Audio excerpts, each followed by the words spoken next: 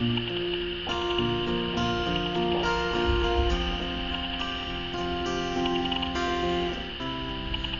devagar porque já tive pressa e levo esse sorriso porque já chorei demais. Hoje me sinto mais forte, mais feliz. Quem sabe eu só levo a certeza de que muito pouco eu sei Como é que é?